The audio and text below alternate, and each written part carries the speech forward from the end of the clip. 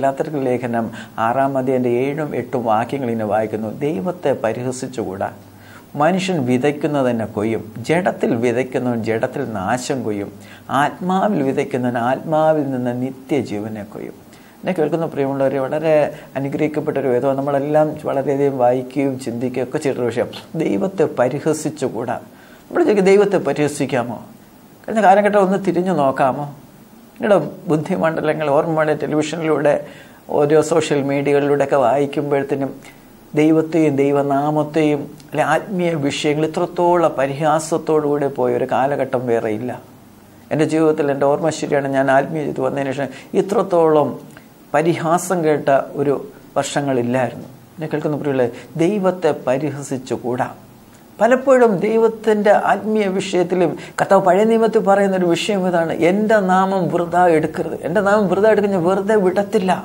എന്നെ കേൾക്കുന്ന പ്രിയമുള്ളവരെ കർത്താവിന്റെ നാമം ദൈവത്തിന്റെ വാചനവുമൊക്കെ എടുത്തിട്ട് നമുക്ക് വളരെ ലാഘവത്തോടുകൂടി കൈകാര്യം ചെയ്യുന്ന ഒരു കാലഘട്ടത്തിൽ നമ്മൾ കർത്താവ് വേണ്ടയും വേണ്ടാത്തവുമായിട്ട് എല്ലാ ആവശ്യങ്ങൾക്കും ദൈവത്തിന്റെ വചനം നമ്മൾ എന്താണ് ആ വചനത്തിന്റെ അർത്ഥമെന്നും ഒരു ഭയമോ ഒന്നുമില്ലാതെ വചനത്തെ കൈകാര്യം ചെയ്യുന്ന ഒരു കാലഘട്ടത്തിലാണ് നിങ്ങൾ ഞാൻ ആയിരിക്കുന്നത്. നമ്മൾ പലപ്പോഴും ചോദിക്കുന്നത് ഈ പ്രതികൂലങ്ങളും വളരെ വൈതരണികളും കഷ്ടങ്ങളും പ്രയാസങ്ങളും ഒക്കെ വരുമ്പോൾ തിരിഞ്ഞൊന്ന് നമുക്ക് നോക്കുവാൻ കഴിയും. നമുക്ക് ശാന്തമായിട്ട് ഇന്ന് പകൽക്കാലം ചില വിഷയങ്ങൾ ചിന്തിപ്പാൻ ഞാൻ കർത്താവിൽ ചെയ്യണം ഇവിടെ പറയുന്നത് ദൈവത്തെ പരിഹസിച്ചുകൂടാ. ദൈവത്തെ ബഹുമാനിക്കുക. ദൈവത്തെ ഭയക്കുക ദൈവത്തിന് വേണ്ട ഓണർ കൊടുക്കും പ്രിയമുള്ളവരെ. ദൈവത്തെ ദൈവമെന്നോർത്ത് അവന് ബഹുമാനം കൊടുക്കണം നന്ദി കരയറ്റണം. ഇതൊക്കെ ആരാധനയുടെ ഭാഗം. ഇതൊന്നും നമ്മൾ ചില്ലാതെ പോയി ആത്മീയ കോളത്തിൽ പോലും ഒരു ഭയമില്ലാത്തൊരു അനുഭവത്തിൽ കൂടെ നാം കടന്നു പോകുമ്പോൾ ഇന്ന് പകൽക്കാലം ശ്രദ്ധിച്ചാട്ട് ദൈവത്തെ ഒന്ന് ഭയക്കാം. ഇവിടെ ഒന്നത്തെ ഒറ്റ കാര്യാദ്യത ദൈവത്തെ പരിഹസിച്ചു അത് കഴിഞ്ഞിട്ട് മനുഷ്യൻ വിതയ്ക്കുന്നത് തന്നെ കൊയ്യും.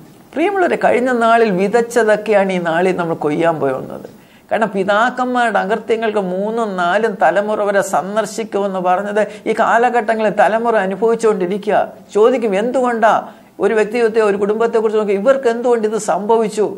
ഇവർ വളരെ നല്ല രീതിയിൽ ജീവിച്ചതല്ലേ? ഇവരുടെ ജീവിതത്തിൽ പ്രശ്നങ്ങൾ പക്ഷെ എന്തുകൊണ്ടാണ് ഇത് സംഭവിച്ചത് അതിന്റെ പ്രധാന കാരണം പ്രിയമുള്ള പിതാക്കന്മാർ കാരണം നാല് തലമുറ നിങ്ങൾ പുറകിലോട്ട് എടുക്കുക അവർ ചെയ്ത അകൃത്യങ്ങളും ദൈവത്തിനെ കോപിപ്പിച്ചതുമായ അനേക വിഷയങ്ങളൊന്ന് ചിന്തിച്ച് നോക്കുക അതിന്റെ പരിണത ഫല അനുഭവിക്കുന്നത് നിങ്ങളും ഞാനും ആകാം. അവിടെ നാളുകളിൽ കാരണം അതുകൊണ്ട് അതെല്ലാം ശാപമായിട്ട് തീർന്ന ആ ശാപത്തിൽ നമ്മെ വിടുവിക്കാൻ യേശു കർത്താവ് വന്നത്. ഈ യേശുവിന്റെ അടുത്തേക്ക് വന്നാൽ മരത്തിന്മേൽ തൂങ്ങുന്നവനില്ല ശപിക്കപ്പെട്ടെന്ന് പറഞ്ഞ പോലെ യേശു നമുക്ക് വേണ്ടി ശാപമായി തീർന്നു. അന്ന് വിശ്വാസത്തിൽ ഏറ്റെടുക്കാവുന്ന വിടുതല. പ്രിയമുള്ളവരെ ഇവിടെ പറയുന്നു മനുഷ്യൻ വിതയ്ക്കുന്നത് തന്നെ കൊയ്യും. ജഡത്തിൽ വിതയ്ക്കുന്നവൻ ജഡത്തിൽ നാശം കൊയ്യും. അപ്പോൾ ആ ജഡത്തിൽ എന്താ നമ്മൾ വിതയ്ക്കുന്നത്? ജഡത്തിൽ ഒരിക്കലും നന്മ വിതയ്ക്കാറില്ല പ്രിയമുള്ള ജഡത്തിൽ വിതയ്ക്കുന്ന അധികം തിന്മയാണ് ജഡത്തിൽ തിന്മ വിതച്ചു കഴിഞ്ഞാൽ തിന്മയല്ലാതെ എന്തെങ്കിലും കൊയ്യാനായിട്ട് നമുക്ക് പറ്റുമോ? ആ തിന്മയാണ് നമ്മൾ കൊയ്തുകൊണ്ടിരിക്കുക അനേക തിന്മ വരുമ്പോൾ ഓർത്തോളണം വിതച്ചത് തിന്മയാണ് വിതച്ചത് നന്മയായിരുന്നെങ്കിൽ നന്മ കൊയ്യാൻ നന്മയല്ലാതെ തിന്മയാണ് എന്റെ ജീവിതത്തിൽ സംഭവിക്കുന്നത് ഇന്ന് പകൽക്കാലം ആത്മാവിൽ ഞാൻ വിളിച്ചു വിടുന്നു പ്രിയമുള്ളവരെ തിരിഞ്ഞു നോക്കാം. കഴിഞ്ഞ കാലങ്ങളിൽ വിതച്ചതൊന്നും നന്മയായിരുന്നില്ല. വിതച്ചതെല്ലാം തിന്മയായിരുന്നു. അപ്പൊ ജഡത്തിൽ വിതയ്ക്കുന്നവൻ ജഡത്തിൽ നാശം കൊയ്യും. എന്നാൽ ആത്മാവിലൊന്ന് വിതച്ചു നോക്കുക ആത്മാവിൽ നിന്ന് നിത്യജീവനെ കൊയ്യാം. അപ്പൊ നിത്യജീവൻ പറ്റുന്ന അനുഭവങ്ങളെ കൊയ്തെടുപ്പാനായിട്ട് കഴിയും. എങ്ങനെ ആത്മാവിൽ ആത്മാവിൽ വിതയ്ക്കും ദൈവത്തിന്റെ ആത്മാവ് വിതയ്ക്കും നന്മയെല്ലാം ദൈവത്തിന്റെ ആത്മാവിൽ വിതയ്ക്കാൻ എഴുതുക. ആത്മാവ് നിറയുന്നവന് മാത്രമേ നന്മ ചെയ്യാൻ ഒക്കത്തുള്ളൂ അപ്പൊ നന്മ നിറച്ചാൽ നന്മ വിതച്ചാൽ നന്മ കൊയ്യാൻ കഴിയും. അങ്ങനെ നിത്യജീവന് വരെ കൊയ്തെടുപ്പാൻ കൊണ്ട് നമ്മുടെ ഇടയാകും. എഫ് എസ് ലേഖനം അഞ്ചിന്റെ ആറ് വായിക്കുമ്പോൾ വരുന്നു വ്യർത്ഥ വാക്കുകളാൽ ആരും നിങ്ങളെ ചതിക്കരുത്.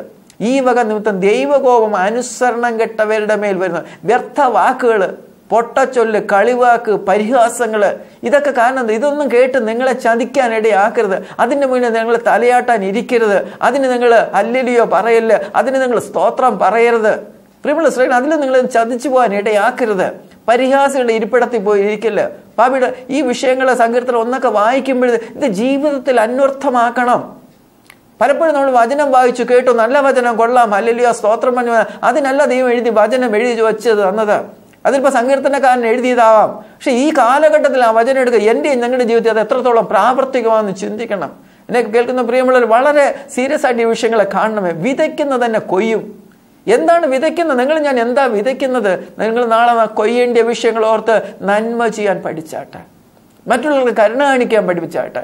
ദൈവം ആഗ്രഹിച്ച കർത്താവ് യേശു കർത്താവ് വന്നു പറഞ്ഞ് ഞാനോ നിങ്ങളോട് പറയുന്നു ഞാനോ നിങ്ങളോട് പറയുന്നു ഒത്തിരി കാര്യങ്ങളുണ്ട്. ഇതൊന്ന് ചെയ്യാൻ പഠിക്കാം. ഇത് ഇതൊന്ന് പഠിച്ചു കഴിഞ്ഞാൽ ഇത് നമ്മൾ വിതയ്ക്കാമെങ്കിൽ ഇതൊക്കെ നമുക്ക് കൊയ്യാനായിട്ട് കഴിയും. കാരണം മറ്റിടത്ത് പറഞ്ഞ എന്താ? ദൈവകോപം അനുസരണം കെട്ടവരുടെ മേൽ വരുന്നു. അനുസരണം കെട്ടവരുടെ മേൽ ആ ദൈവകോപം വന്നു കഴിഞ്ഞാൽ എന്താ പ്രിയമുള്ളവരെ? നമുക്ക് ഈ കഷ്ടതയുടെ പുറകെ നടക്കണോ ഇനിയെങ്കിലും ഒരു വിടുതൽ വേണ്ടേ? ഇനിയെങ്കിലും ഒരു സൗഖ്യം വേണ്ടേ? ഇനിയെങ്കിലും രക്ഷ വേണ്ടേ? സദൃശ്യവാക്യം അതിന്റെ ആറിന്റെ പതിനാലിൽ വായിക്കുന്നത് കാര്യം ഇങ്ങനെയാണ്. അവന്റെ ഹൃദയത്തിൽ വക്രതയുണ്ട്. അവൻ എല്ലായ്പ്പോഴും ദോഷം നിരൂപിച്ച് വഴക്കുണ്ടാക്കുന്നു. അപ്പം അവന്റെ ഹൃദയത്തിൽ എന്താ? ജഡത്തിൽ വിതയ്ക്കുമ്പോൾ ജഡത്തിലുള്ള വിഷയമൊന്നുമില്ല അവന്റെ ഹൃദയത്തിലായ വക്രതയുള്ളത്. അവൻ എല്ലായ്പ്പോഴും ദോഷം നിരക്കും നന്മയില്ല അവനിൽ അവന് തിന്മ മാത്രമേ ഉള്ളൂ. അവന്റെ പൗരസമ്പോസൻ പറഞ്ഞു ഇനി ഞാൻ നന്മ ചെയ്യാൻ ആഗ്രഹിക്കുന്നെങ്കിലും ഇച്ഛിക്കാത്ത തിന്മ കാരണം ജഡത്തിന്റെ സ്വഭാവ പ്രിയമുള്ളത് ജഡത്തിൽ ഒരു നന്മയും ഇല്ല ജഡത്തിൽ തിന്മ മാത്രമേ ഉള്ളൂ. തിരിച്ചറിഞ്ഞ് ഇത് താഴ്ചയുള്ള ശരീരമാ.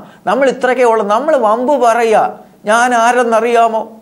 ഞാൻ വലിയ വിശുദ്ധനാണോ? അതുകൊണ്ട് അതിനീതിമാനും അതിവിശുദ്ധനാണെന്ന് തീരല്ലെന്ന് സഭാപ്രസംഗി പറയുന്നുള്ളൂ നമ്മൾ അതിവിശുദ്ധനും അതിനീതിമാനും ഒന്നും ആകണ്ട. പ്രിയമുള്ളവരെ നമുക്ക് കർത്താവേ എന്നെ ഒന്ന് കഴുകണമേ. എന്നെ ഒന്ന് ശുദ്ധീകരിക്കണം പറഞ്ഞ് നമുക്ക് ഏൽപ്പിച്ചു കിടക്കുക. നമ്മുടെ ഹൃദയത്തെ ഒന്ന് ശുദ്ധീകരിക്കണം. വ്യസനത്തിനുള്ള മാർഗം എന്നിലുണ്ടോ എന്നൊക്കെ ശാശ്വത മാർഗത്തിൽ എന്നെ നടത്തണമെന്ന് പറഞ്ഞാൽ കർത്താവിന്റെ സന്നിധി വാ. അങ്ങനെ വന്നാൽ നിശ്ചയം ചെയ്യും വലിയ ചെയ്യും കാരണം നമ്മൾ എന്താ വിതയ്ക്കുന്നതെന്ന് തിരിച്ചറിയണം. സങ്കീർത്തനം അതിന്റെ നൂറ്റി ഇരുപത്തി ആറിലേക്ക് വരുമ്പോൾ അഞ്ചും ആറും വാക്യങ്ങൾ വായിക്കാൻ കഴിയുന്നത് കണ്ണുനീരോടെ വിതയ്ക്കുന്ന ആർപ്പോടെ കൊയ്യും. വിത്ത് ചുമന്നും കരഞ്ഞും വിതച്ചും കൊണ്ട് നടക്കുന്നു കറ്റ ചുമന്നും ആർത്തും കൊണ്ടുവരുന്നു ഈ നാളുകളിൽ ഒരു വിതയ്ക്കുവാനുള്ള സമയമാണ്. കാരണം എങ്ങനെ വിതയ്ക്കണം? കണ്ണുനീരോടെ. ഇപ്പൊ കണ്ണുനീരോടെ വിതയ്ക്കുന്ന ഒരു സമയമാണ് നിങ്ങളും ഞാനും. ഈ കേരളത്തിനകത്ത് അനേക വിഷയങ്ങൾ വരുമ്പോൾ കണ്ണുനീരോടൊന്ന് വിതയ്ക്ക്. നിങ്ങൾക്ക് ആർപ്പോട് കൊയ്യാനായിട്ട്. വിത്ത് ചുമന്നും കരിഞ്ഞും കൊണ്ട് വിതച്ചുകൊണ്ടൊക്കെ നടക്കുന്നത്. പക്ഷേ ഒരു കാലത്തോർത്തോ ഈ നിന്ന് നിങ്ങൾ വിതയ്ക്കുന്ന നാളെ നിങ്ങൾ കൊയ്യും. നിങ്ങളുടെ തലമുറ കൊയ്യും. പ്രിയമുള്ളവരെ ദേശത്തിന് വേണ്ടി നിങ്ങൾ എന്തെങ്കിലുമൊക്കെ ചെയ്യുമ്പോൾ നിങ്ങൾ നന്മ ചെയ്യുമ്പോൾ ദൈവം നാമത്തിൽ കാരണം അത് ചെയ്യുമ്പോൾ ഓർത്തുകൊള്ളണം യേശുവിന്റെ നാമത്തിൽ ചെയ്യാൻ നമ്മളത് പഠിക്കുമെങ്കിൽ എന്ത് നിങ്ങൾ വാക്കിനാലോ ക്രിയയാലോ എന്ത് ചെയ്താലും അതെല്ലാം കർത്താവ് യേശു കൃഷ്ണന്റെ നാമത്തിൽ ചെയ്ത് പിതാവായ ദൈവത്തിന് മഹത്വപ്പെടുത്തിക്കൊണ്ടിരിക്കാമെന്നുണ്ടെങ്കിൽ ഇതൊക്കെ നന്മയായിട്ട് മാറും. പിൽക്കാലങ്ങളിൽ നമുക്കത് അത് ആർത്തുകൊണ്ടുവരുന്ന അനുഭവത്തിലേക്ക് വരുവാനായിട്ട് റോമർ കഴി ലേഖനം അതിന്റെ എട്ടാം അധ്യായത്തിന്റെ അഞ്ചോട്ട് വായിക്കുന്നത് ജഡസ്വഭാവമുള്ളവർക്ക് ജഡത്തിനുള്ളതും ആത്മസ്വഭാവമുള്ളവർ ആത്മാവിനുള്ളതും ചിന്തിക്കും ഇപ്പം നമ്മൾ ജഡസ്വഭാവത്തിലാണെങ്കിൽ ജഡത്തിനുള്ളത് ഈ ജഡത്തിന് എന്തൊക്കെ ചെയ്യാം? ജഡത്തിന്റെ ഇച്ഛ ജഡത്തിന്റെ ആഗ്രഹം ജഡത്തിന്റെ മോഹങ്ങളുടെ പുറകെ ഓടും. പക്ഷെ ആത്മസ്വഭാവം ഉണ്ടോ? നീ ആത്മാവിനോ ദൈവത്തിന്റെ ആത്മാവിന്റെ ഇച്ഛകളും ഇംഗിതം പറഞ്ഞ് ആത്മാവിനെ അനുസരിച്ച് നടപ്പാനിടെ ജഡത്തിന്റെ ചിന്ത എന്ന് പറയുന്നതിനെ കുറിച്ച് വചനം പറയുന്നു. ജഡത്തിന്റെ ചിന്ത മരണവും ആത്മാവിന്റെ ചിന്തയോ ജീവനും സമാധാനം. ഇപ്പം ജീവനും സമാധാനം ഉണ്ടാണ് ആത്മാവിലാ ഇത് പകൽക്കാലം അതിനുവേണ്ടി ഒരു പരിശുദ്ധാൽമുണ്ട് പ്രാർത്ഥിക്കുക. ദൈവത്തിന്റെ പരിശുദ്ധാത്മ പാപത്തെക്കുറിച്ചും നീതിയെക്കുറിച്ചും ന്യായവിധിയെക്കുറിച്ചും ലോകത്തിന് ബോധം വരുന്ന പരിശുദ്ധം നമ്മുടെ മേൽ വന്നു കഴിഞ്ഞാൽ എന്താ സംഭവിക്കുക? അത് ജീവനുണ്ടാകും സമാധാനം തരും. ജഡത്തിന്റെ ചിന്ത ദൈവത്തോട് ശത്രുത്വമാകുന്നു. അത് ദൈവത്തിന്റെ ന്യായപ്രമാണത്തിന് കീഴ്പ്പെടുന്നില്ല. കീഴ്പ്പെടുവാൻ കഴിയുന്നുമില്ല. ജഡ സ്വഭാവമുള്ളവർക്ക് ദൈവത്തെ പ്രസാദിപ്പാൻ കഴിവില്ല. ജഡ സ്വഭാവത്തിലാണോ നിൽക്കുന്നത്? ഇന്ന് പകൽക്കാലം ചിന്തിക്കുക ജഡ സ്വഭാവത്തിൽ ദൈവത്തെ പ്രസാദിപ്പിക്കാനായിട്ട് കഴിയും എന്നെ കേൾക്കുന്ന പ്രിയമുള്ളവർ നമ്മൾ വിതയിലും കൊയ്യിന്റെയും കാലഘട്ടത്തിലാണ് നിൽക്കുന്നത്. നിങ്ങൾ ഞാൻ എന്ത് വിതയ്ക്കുന്നു നോക്കണം? എന്ത് വിതയ്ക്കാൻ നോക്കണം? അതിനൊക്കെ വേണമെന്നുണ്ടെങ്കിൽ നമുക്ക് ഈ ദൈവത്തിൽ നിന്ന് കർത്താവിൽ നിന്ന് ആത്മാവിൽ നിന്ന് പ്രാപിപ്പാനായിട്ട് മനസ്സ് വെക്കണം. അത് ശരിക്കും മനസ്സിലായി. യാക്കോബിന്റെ ലേഖനം മൂന്നാമത്തെ അതിന്റെ പതിനേഴ് പതിനെട്ട് വാക്യങ്ങൾ വായിക്കണം. ഉയരത്തിൽ നിന്നുള്ള ജ്ഞാനമോ ഒന്നാമത് നിർമ്മലവും പിന്നെ സമാധാനവും ശാന്തതയും അനുസരണവും ഉള്ളതും കരുണയും സൽഫലവും നിറഞ്ഞതും പക്ഷപാതവും കപടവും ഇല്ലാത്തതുമാകുന്നു. എന്നാൽ സമാധാനം ഉണ്ടാക്കുന്നവർ സമാധാനത്തിൽ വിതച്ച് നീതി എന്ന ഫലം കൊയ്യും. അപ്പൊ സമാധാനം ഉണ്ടാക്കണമെങ്കിൽ എങ്ങനെ സമാധാനം ഉണ്ടാക്കാൻ പറ്റും? ഉയരത്തിൽ നിന്നുള്ള ജ്ഞാനം. ഉയരത്തിൽ നിന്ന് നിർമ്മലമായിട്ടുള്ള സമാധാനവും ശാന്തതയും അനുസരണമുള്ള ദൈവത്തിൽ നിന്നുള്ളതാണ് ഉയരങ്ങളിലെ ജ്ഞാനം നിങ്ങളുടെ മേൽ. പലപ്പോഴും മാനുഷിക ജ്ഞാനം നമ്മുടെ മേൽ നിറഞ്ഞ മാനുഷിക ബുദ്ധി കൊണ്ട് നിറഞ്ഞപ്പോൾ നമുക്ക് മറ്റുള്ളവരെ അംഗീകരിക്കാൻ കഴിയത്തില്ല. നമുക്ക് മറ്റുള്ള ശ്രേഷ്ഠർ നിണ്ണാൻ കഴിയില്ല. നമ്മുടെ പ്രസംഗത്തിലൊക്കെ പോലും നമ്മുടെ വാക്കുകളിൽ വൃത്തിയിൽ ഞാൻ ആരാണ് ഞാൻ ഏതാണ്ടൊക്കെയാണെന്നൊരു തോന്നല. ഈ ജഡം ഇന്നുവരെ ഉടയപ്പെട്ടിട്ടില്ല പ്രിയുള്ളൂ ജഡത്തിൽ ഒരു നന്മയില്ല. ജഡത്തിന്റെ ചിന്തയൊക്കെ മരണമാണ് എന്നെ കേൾക്കുന്ന പ്രിയമുള്ളത് നമുക്കൊന്ന് താഴെ അങ്ങനെ ഉയരങ്ങളിലെ ജ്ഞാനം നമ്മുടെ മേൽ നിറയണം. ഉയരങ്ങൾ ജ്ഞാനം അടക്കി വെക്കും.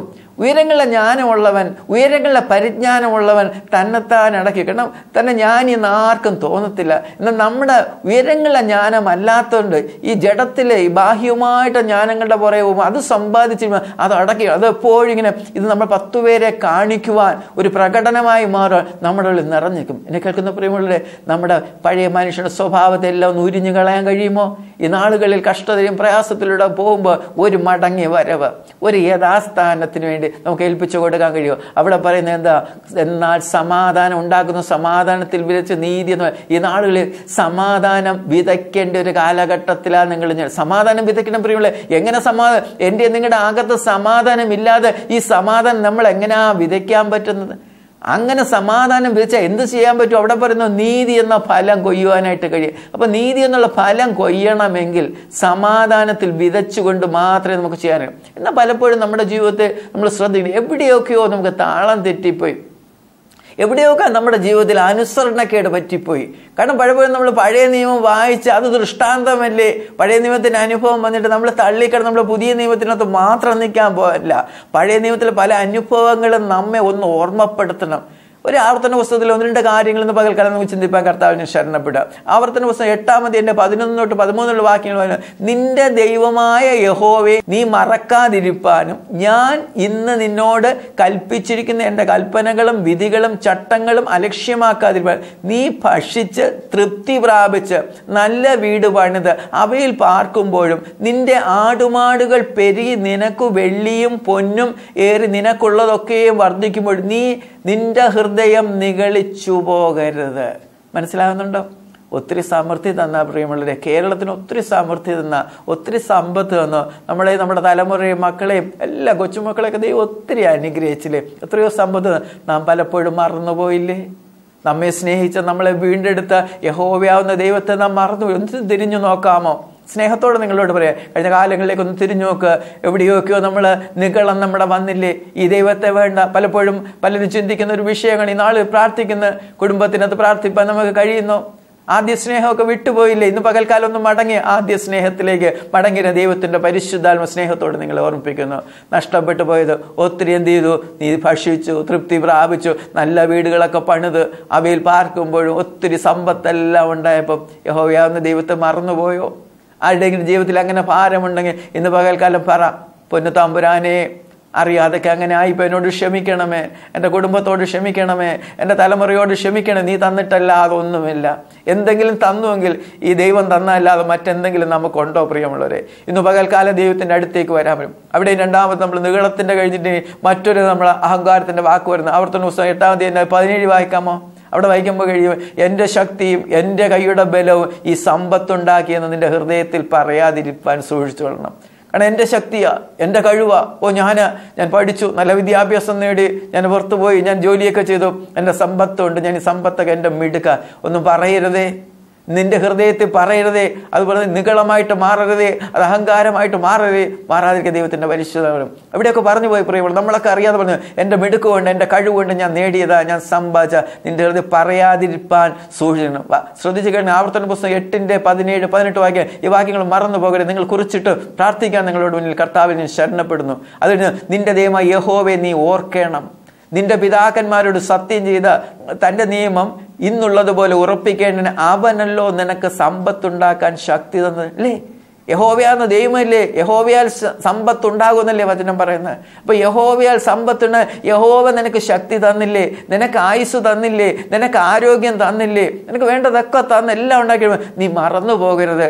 നിന്നെ എത്രത്തോളം കൊണ്ടുവന്ന നിന്നെ വഴിയിൽ ഇട്ടിട്ട് പോകാതെ നിന്റെ കാലിലെ ചെരുപ്പ് കീറിപ്പോകാതെ നിന്റെ വസ്ത്രം കീറിപ്പോകാതെ ഒന്നും പഴകിപ്പോകാതെ ഇതുവരെ കൊണ്ടുവന്ന് യഹോവൻ ദൈവത്തിന് മറന്നു പോകരുത്. പലപ്പോഴും മറന്നില്ലേ പ്രിയമുള്ളവരെ? നമ്മുടെ ജീവിതത്തിൽ തിരിഞ്ഞു നോക്ക്. യഹോവയെ മറന്ന് എത്രയോ സന്ദർഭം എന്റെ നിങ്ങളുടെ ജീവിതത്തിലില്ലേ എന്നെ കേൾക്കുന്ന പ്രിയമുള്ളവരെ ഈ ദിവസം നമുക്കൊന്ന് മടങ്ങി വരാൻ കഴിയോ ദൈവത്തോട് മനമൊരുകി പ്രാർത്ഥിക്കാൻ കഴിയോ അനേകർക്ക് ദൈവത്തെ അറിയാത്തവർക്ക് അവർക്ക് ചിലപ്പോൾ ഈ വചനം പറഞ്ഞ് അവർ മനസ്സിലാകത്തില്ല. എന്നാൽ എന്നെ കേൾക്കുന്ന പ്രിയമുള്ളവരെ ദൈവത്തെ അറിയുന്നവരെ ദൈവത്തെ സ്നേഹിക്കുന്നവരെ ദൈവത്തെ ബഹുമാനിക്കുന്ന നിങ്ങളോട് പറയുന്നു അവർക്ക് വേണ്ടി നമുക്ക് പ്രാർത്ഥിക്കാം. ദാനിയിലൊക്കെ അങ്ങനെ പ്രാർത്ഥിച്ച കർത്താവേ ഞങ്ങളുടെ കുറവുകൾ ഞങ്ങളുടെ ദാനിയിൽ ആ പാപം ചെയ്തില്ല പക്ഷേ എന്റെ ജനത്തിന്റെ പാപം എന്നെ ഓർത്ത് ക്ഷമിക്കണമെന്ന് ദാനിയിൽ പറഞ്ഞെങ്കിൽ നെഹമ്യാവ് അങ്ങനെ പ്രാർത്ഥി ഈ നാളിൽ നമുക്കങ്ങനെ ഇടിവിൽ നിന്ന് പ്രാർത്ഥിക്കാം. മോശയൊക്കെ പ്രാർത്ഥിച്ചത് അങ്ങനെയാണെങ്കിൽ എന്റെ പേര് ഈ പുസ്തകത്തിൽ നിന്ന് എഴുതി മാറ്റിക്കളയണമേ. എന്നെ കേൾക്കുന്ന പ്രിയമുള്ള നാളുകളിൽ നമുക്ക് അങ്ങനെ പ്രാർത്ഥിക്കണം. എവിടെയൊക്കെ നമുക്ക് തെറ്റിപ്പോയില്ലേ? എവിടെയൊക്കെ നമുക്ക് കുറവ് വന്നുപോയില്ലേ? ഈ നാളിൽ കേരളം വളരെ പ്രതിസന്ധിയിലൂടെ കടന്നു പോകുമ്പം നമുക്ക് അനുതാ നമുക്കിപ്പോൾ വേണ്ടിയത് ഒരു അനുതാപത്തിന്റെ പ്രാർത്ഥന ഒരു കണ്ണുനീരിന്റെ പ്രാർത്ഥന ഒരു നിലവഴിയുടെ പ്രാർത്ഥനയാണ് പ്രിയമുള്ള ഈ കാലഘട്ടത്തിൽ നമുക്ക് ആവശ്യം. ഒരു മടങ്ങി വരോ ദൈവം ആഗ്രഹിക്കുന്നു. അവൻ സദാകാലവും അങ്ങനെ നമ്മളെ ഉപദ്രവിക്കുന്ന ദൈവമല്ല നമുക്ക് ദോഷം ചെയ്യുന്ന ദോഷങ്ങളാൽ പരീക്ഷിക്കുന്ന ഒരു ദൈവമല്ല പ്രിയണ. ഓ മഹാദയുള്ള മഹാകരുണ കാണിക്കും. പകൽക്കാലം നമ്മൾ കരഞ്ഞാൽ ദൈവത്തോട് പറഞ്ഞ ദൈവമേ ഞാൻ മടങ്ങി വരാം. എപ്പോഴൊക്കെ നമ്മുടെ ജീവിതത്തിൽ ആത്മീയ ജീവിതത്തിൽ വന്ന സംഭവങ്ങൾ അറിയാമോ? നമ്മൾക്ക് പറ്റുന്ന ഒത്തിരി കുഴപ്പങ്ങളുണ്ട്. ലൂക്കോസിന്റെ സുവിശേഷം എഴുതുമ്പോൾ യേശു കർത്താവ് പറയുന്നു ലൂക്കോസിന്റെ സുവിശേഷം ആറാം അധ്യായം അതിന്റെ മുപ്പത്തേഴ് മുപ്പത്തെട്ട് വാക്യങ്ങൾ വായിക്കുന്നു വിധിക്കരുത് എന്നാൽ നിങ്ങളെ വിധിക്കയില്ല. ശിക്ഷയ്ക്ക് വിധിക്കരുത് എന്നാൽ നിങ്ങൾക്കും ശിക്ഷാവിധി ഉണ്ടായില്ല. വിടുവിൻ എന്നാൽ നിങ്ങളെ വിടുവിൻ. കൊടുപ്പിൻ എന്നാൽ നിങ്ങൾക്കും കിട്ടും. അമർത്തെ കുലിക്ക് കവിയുന്നൊരു നല്ല അളവ് നിന്റെ മടിയിൽ തരും. നിങ്ങൾ അളക്കുന്ന അളവിനാൽ നിങ്ങൾക്ക് അളന്നു കിട്ടും. നിങ്ങൾ എങ്ങനെ അളക്കുന്നോ ആ അളവിനാൽ അളന്നു. എന്ത് ചെയ്യുന്നു? അത് തന്നെ കിട്ടത്തുള്ളൂ. പ്രിയമുള്ളവരെ വിതയ്ക്കുന്നതേ നമ്മൾ കൊയ്യാൻ ഒക്കത്തുള്ളൂ ഇത് പകൽക്കാലം വിധിക്കരുതേ. മറ്റുള്ള ദേവദാസന്മാരെ വിധിക്കാൻ പോകല്ല് മറ്റു ശുശ്രൂഷന്മാരെ വിധിക്കാൻ പോകരുത്. എന്നാൽ നിങ്ങളെയും നിങ്ങൾ വിധിക്കാതിരിക്കും വിധിക്കപ്പെടാതിരിക്കണമെങ്കിൽ നാം മറ്റുള്ളവരെ വിധിക്കുക വിധിക്കരുത്. ആരെയും വിധിക്കാൻ വിധിച്ചാൽ നമ്മെ ദൈവം വിധിക്കും. നമുക്ക് വിധിക്കപ്പെടാതിരിക്കണമോ? നാം മറ്റുള്ളവർ അത് കഴിഞ്ഞ് ശിക്ഷയ്ക്ക് ആർക്കും ശിക്ഷിക്കണം അങ്ങനെ സംഭവിക്കട്ടെ? അവന്റെ ജീവിതത്തിൽ അങ്ങനെ സംഭവിക്കട്ടെ? നമ്മൾ ശിക്ഷയ്ക്ക് അങ്ങ് വിധിച്ചാൽ നിങ്ങൾക്കും ശിക്ഷാവിധി ഉണ്ടാകും. അത് ഉണ്ടാകാതിരിക്കണമോ? നീ ശിക്ഷയ്ക്ക് ആരെയും ശിക്ഷയ്ക്ക് വിധി വിധിക്കരുത്. ഒന്ന് ശ്രദ്ധിച്ച് കുറിച്ചിട്ട് ഹൃദയത്തിന്റെ മാംസഫലമേലൊന്ന് കുറിച്ചിട്ടോ. ഇന്ന് പകൽക്കാലം നിങ്ങളോട് സന്ദേശമാണ്. വിധിക്കരുത്. ശിക്ഷയ്ക്ക് വിധിക്കരുത്. വിടുവിൻ. വിട്ടുകളാ. ആരെയും നിങ്ങളുടെ ഹൃദയത്തിന് പിടിച്ചു വെക്കേണ്ട. കയ്പായിട്ട് വിദ്വേഷമായിട്ട് പകയായിട്ട് പിടിച്ചു വെച്ചേണ്ട വിട്ടുകളാ. ദൈവത്തിന്റെ സന്നി സ്നേഹപൂർവം ഹൃദയപൂർവം ക്ഷമിക്കാൻ ഞാൻ സ്വർഗസ്നായ പിതാവ് നിങ്ങളോട് ക്ഷമിക്കത്തില്ല. ഒന്ന് വിട്ടുകൊടുത്ത് പ്രാർത്ഥിക്കാൻ കഴിയും. വിടുവിൻ എന്നാൽ നിങ്ങളെയും വിടി നിനക്ക് വിടുതൽ വേണോ? നിനക്ക് സൗഖ്യം വേണമോ? നിനക്കൊരു ബന്ധനത്തിന് അഴിഞ്ഞു പുറത്തു വരണോ കെട്ടഴിയണമെന്ന് ആഗ്രഹം ചിലതിനെയൊക്കെ കെട്ടി വെച്ചിട്ടില്ലേ? ദൈവത്തിന്റെ പരിശുദ്ധം ഈ പകൽക്കാലം വിളിച്ചു. ചിലതിനെ നാളുകളായിട്ട് വിടുവാൻ കഴിയാതെ വേണം അവന്റെ ആത്മീയ വളർച്ചയ്ക്ക് തടസ്സം നിന്നുകൊണ്ട് അവനെ ആത്മാവിൽ ശുശ്രൂഷിക്കാൻ കഴിയാതെ വേണം തടസ്സം കെട്ടിയ. ഞാൻ പറയുന്നതിന് അപ്പുറം പോകണ്ട. ഞാൻ പറയുന്നതിന് അപ്പുറം വളരണ്ട. ചിന്തിക്കുന്ന ഏതെങ്കിലും ഇതിനകത്ത് കേൾക്കണം യേശുവന്റെ നാമത്തിൽ പറയുന്നു ഒന്ന് വിട്ടുകളാ. എന്തുകൊണ്ടാണ് വിടുതൽ ഇല്ലാതെ പോകുന്നത്? എന്താ ശുശ്രൂഷ വളരാത്തത്? എന്താ ആത്മാവ് വളരാകണേ? എന്നിന്റെ ഹൃദയം ഞെരുങ്ങിയിരിക്കുന്നുണ്ട്. ആത്മാവ് പറയുന്ന നിന്റെ ഹൃദയം ഞെരു ഈ ഞെരുക്കമൊന്ന് മാറ്റാം. ഒരു വിശാലത വരുത്തിക്കൊണ്ട് ഇന്ന് പകൽക്കാൽ യേശുവിന്റെ നാമത്തെ മറ്റുള്ളവരെ അനുഗ്രഹിച്ച് പ്രാർത്ഥിക്കാൻ പഠിച്ചാൽ നിനക്കും അനുഗ്രഹമാണ് മറ്റുള്ളവർക്കും അനുഗ്രഹം. പലപ്പോഴും നമുക്കത് കഴിയുന്നില്ല. നമ്മുടെ ഏറ്റവും ലക്ഷ്യം എന്താ? എനിക്ക് അനുഗ്രഹം കിട്ടിയില്ല മറ്റുള്ളവന് അനുഗ്രഹം കിട്ടരുത്. മറ്റുള്ള ഹൃദയത്തിന്റെ ആഴങ്ങളിൽ നിന്ന് അനുഗ്രഹം വേണം അതുകൊണ്ട് അനുഗ്രഹം പ്രാപിക്കാൻ വിളിക്കപ്പെട്ടവരാണ് നിങ്ങൾ അനുഗ്രഹിക്കുന്നവരായിരിക്കും. മറ്റുള്ളവരെ അനുഗ്രഹിക്കാൻ ഇന്ന് പകൽക്കാലം നിങ്ങൾ ഞാനൊരു തീരുമാനം നിന്റെ കുടുംബം അനുഗ്രഹിക്കപ്പെടും. നിന്റെ തലമുറ അനുഗ്രഹിക്കപ്പെടും. എന്തുകൊണ്ട് അനുഗ്രഹം പ്രാപിക്കാതിരിക്കണം പലപ്പോഴും നമ്മൾ പിടിച്ചു വെച്ചിരിക്കുക. ഇന്ന് നിന്റെ ഹൃദയത്തിന്റെ ഞെരുക്കമൊന്ന് മാറട്ടെ. ഈ ഞെരുക്കം ഒരു വിശാലതയ്ക്ക് വേണ്ടി പ്രാർത്ഥിക്കുന്ന ദൈവം അത് കൊടുപ്പീൻ എന്നാൽ നിങ്ങൾക്കും കിട്ടും. അമർത്തി കുലുക്കി കവിയുന്ന ഒരു അളവ് നിന്റെ മടിയിലും തരും. ഒന്ന് കൊടുക്കാൻ മനസ്സുണ്ടോ? ഈ നാളിൽ കേരളത്തിന് വേണ്ടി കഷ്ടപ്പെടുമ്പോൾ പ്രയാസം അവർക്ക് കൊടുക്കാൻ മനസ്സുണ്ടോ? അന്ന് കൊടുത്താൽ എന്താ ചെയ്യുന്നത്? നിന്റെ മടിയിൽ തരും. നിന്നെ അളക്കുന്ന അളവിനാൽ നിങ്ങൾക്കും അളന്നു കിട്ടും. എന്താ ചെയ്യുന്നത്? നിങ്ങൾ വിതയ്ക്കുന്നതേ കൊയ്യാൻ ഇന്ന് വിതയ്ക്കാനൊരു അവസരം ദൈവം തരിക. പ്രിയമുള്ള നാളുകളിൽ നിങ്ങൾ വിതയ്ക്കുവാൻ നിങ്ങൾ ഞാൻ മനസ്സ് വെച്ചാൽ നല്ലൊരു കൊയ്ത്തുണ്ട്. ആ കൊയ്ത്തിൽ നിങ്ങൾ വേണം എന്ന് പഴയ യേശു കർത്താവ് പറഞ്ഞ ഒരു വിഷയമാണ് എടുക്കണം. നിങ്ങൾ കൊയ്യ വിതയ്ക്കാത്തടത്ത് നിങ്ങളെ കൊയ്യാനാക്കി എന്നാൽ ഇന്ന് അങ്ങനെ വിതയ്ക്കാനൊരു അവസരം ദൈവം തരിക. പ്രിയമുള്ളവരെ നമുക്ക് വിതയ്ക്കുവാനായിട്ട് കഴിയുമോ? നാളിൽ വളരെ ഭയത്തോടുകൂടി വിറയലോടുകൂടി ദൈവസന്നിവെന്ന് കർത്താവിനെ മാനിച്ചുകൊണ്ട് ദൈവത്തിന്റെ വചനം അനുസരിക്കാൻ മനസ്സുകൾ ആ വിശുദ്ധിയുടെ ജീവ മനസ്സുകൾ ദൈവം നിശ്ചയമായിട്ട് വലിയ നിന്റെ സകല ബുദ്ധിമുട്ടുകളെ മാറ്റാം കാരണം ചോദിക്കുകയാണ് കിടപ്പാടം പോയി വസ്തുവകൾ പോയി എല്ലാം പോയി. ഒന്നും പ്രത്യാശയില്ലാതെ നിൽക്കുമ്പോൾ ചോദിക്കണം കർത്താവെ എന്റെ പ്രാണനെ തൊടാൻ അവനെ അനുവദിക്കല്ല. ദുഷ്ടനായ നിന്റെ പ്രാണനെ തൊടത്തില്ല. കാരണം കർത്താവിന്റെ കരുത്തിൽ ഏൽപ്പിച്ചു പ്രാർത്ഥന കർത്താവെ വലിയ യേശുവിന് ഇന്നും പ്രവർത്തിക്കുവാൻ കഴിയും. കാരണം അഞ്ചപ്പമേ ഉള്ളൂ. രണ്ട് മീനേ ഉള്ളൂ. എന്താ ചെയ്യാൻ പറ്റുക? കാരണം തന്റെ ശിഷ്യന്മാർക്ക് പറയാൻ കഴിയും അതുകൊണ്ട് ഒന്നും ചെയ്യാൻ കഴിയത്തില്ല യേശു അതിനകത്തൊന്നുണ്ട് ഈ അഞ്ചപ്പത്തിനകത്തും രണ്ട് മീനിനകത്തും അയ്യായിരം പേര് അതിനപ്പുറത്തുള്ളവരെ പോഷിപ്പാൻ കർത്താവിന് വചനം കഴിഞ്ഞുവെങ്കിൽ ഇന്ന് പകൽക്കാലം യേശുവിന്റെ നാമത്തിൽ പറഞ്ഞു ഈ കഷ്ട കേരളത്തിന് നിങ്ങൾക്ക് പുറത്തു വരാൻ കഴിയും. ദൈവത്തിനും ദൈവത്തിന്റെ വചനത്തിനും ശക്തിയുള്ള തിരിച്ചു ദൈവത്തിന്റെ വചനം ജീവനുള്ള അത് ഇരുവാൾത്തല മൂർച്ചയുള്ള ദൈവം വചനം അയച്ചാൽ അത് നിവർത്തിച്ചിട്ടാലും മടങ്ങി. പ്രിയമുള്ളവർ ഇന്ന് പകൽക്കാലം ഒന്ന് കർത്താവിൽ ഒന്ന് ശരണപ്പെടുക ഇന്നും വരുമ്പോഴത്തേനും പറയും ഞങ്ങൾ ഒറ്റക്കെട്ടായി നേടുമെന്നല്ല പറയണ്ട. യഹോവയാൽ നേടുന്നു ദൈവത്തെ ഒന്ന് ഭയപ്പെട്. കർത്താവിന്റെ അടുത്ത് നിന്ന് മുട്ടും മടക്ക്. നമുക്ക് സഹായം എവിടെ എവിടുന്നവർ? നമുക്ക് സഹായം ആകാശത്തെ ഭൂമി സൃഷ്ടി യഹോവയിൽ നിന്ന് വരും. ഇന്ന് പകൽക്കാലം ഏൽപ്പിച്ചുകൊണ്ട് പ്രാർത്ഥിക്കും. പൊന്നു തമ്പുരാനെ ഞങ്ങളോട് കരുണ തോന്നണമേ. ഈ ദേശത്തോട് കരുണ പ്രാർത്ഥിക്കാൻ പറ്റൂ. എബ്രാഹിം പന്ത്രണ്ടിൽ ഇരുപത്തിയെട്ട് വായിക്കുന്നു. ആകെയാൽ ഇളകാത്ത രാജ്യം പ്രാപിക്കുന്നത് കൊണ്ട് നാം നന്ദിയുള്ളവരായി ദൈവത്തിന് പ്രസാദമിന്റെ ഭക്തിയോടും ഭയത്തോടും കൂടെ സേവ നമ്മുടെ ദൈവം ദഹിപ്പിക്കുന്ന അഗ്നിയല്ലോ ആ ദഹിപ്പിക്കുന്ന അഗ്നിയാകുന്ന ദൈവത്തിന്റെ മുന്നേ ഒന്ന് മുട്ടുക. ദൈവത്തിന്റെ കൈ വീഴുന്ന ഭയങ്കരമാ പ്രിയമുള്ളവരെ. ഞാൻ ചോദിക്കുന്നു പിശാചിന്റെ കയ്യിൽ അടി മേടിക്കുന്നതിനെക്കാട്ടി എത്രയോ നല്ലതാ ഈ അപ്പൻ ഒന്ന് അടിച്ചാൽ? ഒരു ബാലൻസ് ബാലശിക്ഷ എത്ര നല്ലത്? പിറു വെറുക്കരുത്.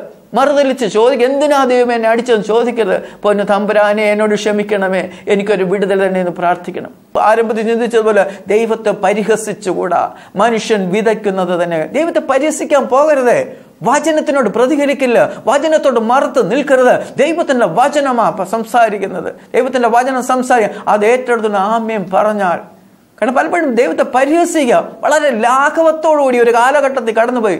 തിരിഞ്ഞു നോക്കി ഒരു മനുഷ്യന് നിർക്കക്കള്ളിയില്ലാൻ കഴിയാതെ വണ്ണം. ഒന്ന് പ്രതികരിക്കാൻ ഒന്ന് ശ്വാസം എടുക്കാൻ പോലും കഴിയാത്ത വണ്ണം. ഒരവസ്ഥയിൽ കൂടെ നാം കടന്നുപോയി. എന്തുകൊണ്ട് പറ്റി? ദൈവത്തെ പരിഹസിക്കരുത്. പ്രിയമുള്ളവരെ ഇന്ന് പകൽക്കാലം ഒരു അനുതാപത്തോടുകൂടി ഒരു മാനസാന്തര ദൈവത്തിന് സന്നിലേക്ക് കടന്നിട്ട് ഞാൻ കർത്താവ് നിങ്ങളെ പ്രബോധിപ്പിക്കുന്നു പ്രോത്സാഹിപ്പിക്കുന്നു. മനുഷ്യൻ വിതയ്ക്കുന്നത് തന്നെ കൊയ്യും. നമ്മൾ വിതച്ചതാ കൊയ്തുകൊണ്ടിരിക്കുന്നത്. ഇനി മുതലെങ്കിലും ഇന്ന് മുതലെങ്കിലും ഇത് കേൾക്കുമ്പോഴെങ്കിലും ഇന്നോട്ട് നന്മ വിതയ്ക്കാൻ പഠിക്കുക ദൈവത്തെ ഭയപ്പെട്ട് ദൈവത്തിന്റെ നാമത്തിൽ നിന്നുകൊണ്ട് ആത്മാവിൽ ജഡത്തിൽ വിതയ്ക്കാൻ പോകരുത്. ജഡത്തിൽ നേരത്തെ പറഞ്ഞതുപോലെ തിന്മയില്ലാത്ത മറ്റൊന്നും വിതയ്ക്കാനില്ല. ആത്മാവിൽ വിതയ്ക്കണമോ? ദൈവത്തിന്റെ പരിശുദ്ധ പരിശുദ്ധനെ പ്രാർത്ഥിച്ചിട്ട് ഈ നാളുകളിൽ ദൈവം പരിശുദ്ധ നമ്മുടെ മേൽ പകരും. ആത്മാവിൽ വിതയ്ക്കുന്നവൻ ആത്മാവിൽ നിന്ന് നിത്യജീവനെ കൊയ്യും. പ്രിയമുള്ളവരെ നിത്യജീവൻ എത്ര പേർക്ക് ആവശ്യമുണ്ട്? യേശുവിന്റെ അടുത്തേക്ക് അവന്റെ അടുക്കൽ ജീവനുണ്ട്. അവനിൽ വിശ്വസിക്കുന്നതിന് ജീവനുണ്ട്. അവനെ വിശ്വസിപ്പാനായിട്ട് കഴിയുമോ? ഇന്ന് പകൽക്കാലം ഞങ്ങൾ കർത്താവിന്റെ നാമത്തിൽ നിങ്ങളെ സ്വാഗതം ചെയ്യുന്നു. യേശുവിന്റെ അടുത്തേക്ക് വന്നായിട്ട് അവൻ ജീവനുണ്ട്. അവൻ നിത്യജീവനുണ്ട് നിങ്ങൾ സ്വർഗത്തിൽ നിങ്ങളെ പേരെഴുതി കിട്ടും. ഇന്ന് പകൽക്കാലം അല്പസമയം നമുക്ക് ദൈവത്തോട് പ്രാർത്ഥിക്കാം. ഈ ഈ നാളുകളിൽ കേരളത്തിൽ വലിയൊരു വിടുതലിന് വേണ്ടി ഒരു വലിയൊരു ഒരു ഉണർവ് വ്യാപരിക്കാൻ നമുക്ക് ദൈവത്തോട് പ്രാർത്ഥിക്കാം. മഹാപരിശുദ്ധനായ ദൈവം നന്ദിയോടെ ഞങ്ങൾ അങ്ങേ വാഴ്ത്തുന്ന പാസ്തുതി ഇന്ന് പകൽക്കാലം കേൾപ്പിച്ച വചനത്തിനായിട്ട് നന്ദിയോട് സ്തുതിക്കുന്ന കർത്താവെ പലപ്പോഴും ദൈവത്തെ പരിഹസിക്കുന്ന ദൈവത്തെ നിന്ദിക്കുന്ന ദൈവത്തോട് മറുതലിക്കുന്ന കർത്താവെ ദൈവം തന്ന നന്മകളും അനുഗ്രഹങ്ങളും മറന്നുപോയി അലക്ഷ്യമായ വേദികൾ ഞങ്ങളുടെ ജീവിതത്തിലൊക്കെ ഉണ്ടായിട്ടുണ്ട്. എല്ലാം ഞങ്ങളോട് ക്ഷമിക്കണമേ എന്ന് പ്രാർത്ഥിക്കുന്ന കർത്താവെ. വചനത്തിന്റെ മുന്നിൽ പ്രതികരിക്കാതെ നിന്ന് വചനത്തോട് മറുതലിച്ച് നിന്ന് എല്ലാം ദൈവം ക്ഷമിക്കണമെന്ന് ഈ പകൽക്കാലം ഞങ്ങൾ ദൈവത്തോട് പ്രാർത്ഥിക്കും കർത്താവ് കേരള ജനതയ്ക്ക് വേണ്ടി പ്രാർത്ഥിക്കുന്നു. കേരളത്തിന്റെ വിവിധ ഭാഗങ്ങളിൽ കർത്താവിന്റെ കരം ചലിക്കണമേ കർത്താവ്. പരിശുദ്ധാത്മ പരിവർത്തിക്കണമേ എന്ന് പ്രാർത്ഥിക്കുന്നു. പരിശുദ്ധാത്മ പരിവർത്തിക്കാൻ ജീവൻ വെക്കുമല്ലോ. ആഴത്തിൽ ഇരുളുണ്ടായിരുന്നു. ഇരുളിന് മേൽ ദൈവത്തിന്റെ പരിശുദ്ധാത്മ പ്രവർത്തിച്ച ജീവൻ വെച്ചതിൽ ഇന്ന് പകൽക്കാലം ഞങ്ങൾ ഒന്നിച്ച് പ്രാർത്ഥിക്കുന്നു കർത്താവെ കേരളത്തിനകത്ത് യേശുവിന്റെ ജീവൻ വ്യാപരിക്കട്ടെ. കർത്താവെ കേരളത്തിലുള്ള സകല കഷ്ടം അനുഭവിക്കുന്ന പ്രയാസം ഓരോ വ്യക്തി ജീവൻ കർത്താവിന്റെ കരുതി അവരുടെ ഹൃദയത്തെ തൊടണമേ കർത്താവേ. അവരുടെ കണ്ണുനീര് തുടയ്ക്കണമേ കർത്താവെ. അവർക്ക് വേണ്ടത് കൊടുക്കണമെന്ന് ഞങ്ങൾ ദൈവത്തോട് പ്രാർത്ഥിക്കുന്നു കർത്താവെ. കേരളം കർത്താവ് പുതിയൊരു അനുഭവത്തിലേക്ക് മാറി കർത്താവെ. മാനസാന്തരപ്പെട്ട് രൂപാന്തരപ്പെട്ട് കർത്താവെ. ഹല്ലലി കർത്താവ് പാപങ്ങൾ വിട്ടൊഴിയുന്ന കർത്താവ് ഒരു ദേശമാക്കി മാറ്റണമേ. ദേശത്തെ ശുദ്ധീകരിക്കുന്നതിനായിട്ട് ദൈവകൃപയ്ക്കായിട്ട് സ്തോത്രം. നന്ദിയോട് നന്ദിയോട് സ്തുതിക്കുന്നു. പ്രാർത്ഥന കേട്ടിക സ്തോത്രം. യേശുബൻ നാമത്തിൽ തന്നെ. ആമേൻ. എന്നെ കേൾക്കുന്ന പ്രിയമുള്ളവർ ഇന്ന് രാത്രികാലം നമ്മൾ തുടർമാനായിട്ട് ചെയ്തുകൊണ്ടിരിക്കുന്ന പോലെ ഗ്ലോബൽ പ്രയർ ടൈമിലേക്ക് നിങ്ങളെ ഞാൻ സ്വാഗതം ചെയ്യുന്നു. രാത്രി നമുക്ക് പ്രധാനമായിട്ട് കേരളത്തിന് വേണ്ടി ശക്തമായിട്ട് പ്രാർത്ഥിക്കാം. കേരളം വിടിപ്പിക്കപ്പെടണം കേരളത്തിൽ ഒരു വലിയ കൂട്ടം ജനം യേശുവിനെ അറിയണം. നിങ്ങൾ ഞാൻ രാത്രി മുഴുവൻ കാൽമണയ്ക്ക് കണ്ണുനീരോടെ പ്രാർത്ഥിച്ചാൽ ദൈവം നിശ്ചയമായിട്ടും വലിയ